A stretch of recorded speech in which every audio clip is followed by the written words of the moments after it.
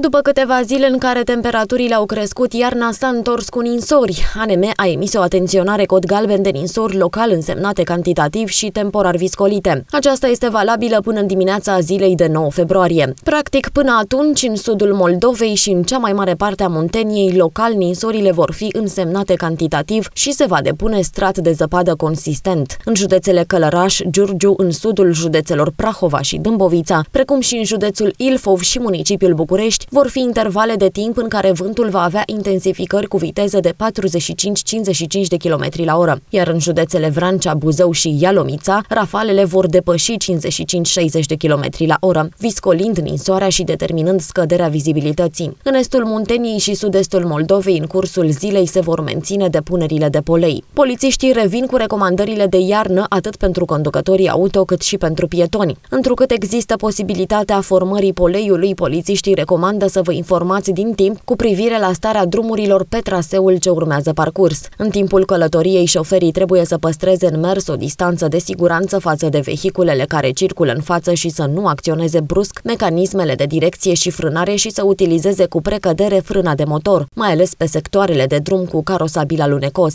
Șoferii începători trebuie să evite pe cât posibil conducerea autovehiculului în condiții de drum alunecos, pe timp de noapte sau pe distanțe mari, dată fiind experiența redusă și și riscul implicării în evenimente rutiere nedorite. Pietonii trebuie să se asigure temeinic înaintea traversării drumurilor și să procedeze la efectuarea acestora numai după ce sunt siguri că traversarea se poate face în condiții de siguranță, ținând cont de faptul că în condiții de carosabil umed sau alunecos, spațiul de frânare al autovehiculelor crește simțitor.